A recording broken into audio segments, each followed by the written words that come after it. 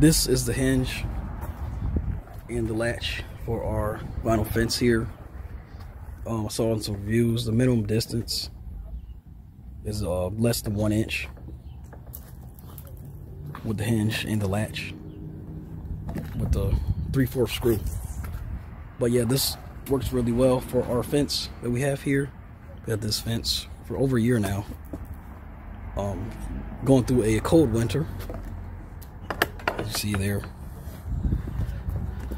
Has the nice spring right there. Go up and down, just like that. we had a company install this for us because I didn't want to be having the alignment messed up. And then there was a tension right there. See the screws in there in between. But yeah, uh, works really well. Haven't had any issues with it. Nice stainless steel. Holds up in all types of weather. And yeah, highly recommend it.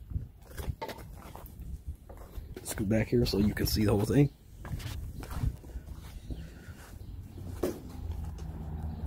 Hinges with the latch, heavy duty latch.